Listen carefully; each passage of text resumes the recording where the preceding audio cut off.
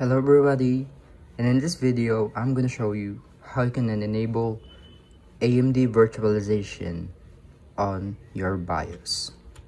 So just enter the BIOS by pressing the delete key. And then go to advanced frequency settings. And then go to advanced CPU settings. And then enable SVM SVM mode. So we're just gonna enable SVM mode by double clicking this the, the toggle.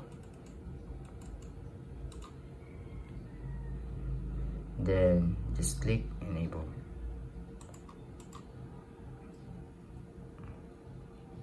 right there I just double click. And then go to save and exit. And then click save and exit setup. Click yes. And there you have it.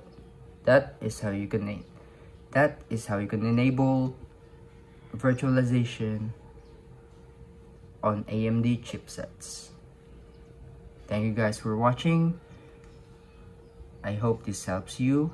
This has been D from Deelawg TV. I'll see you in the next one. Peace out.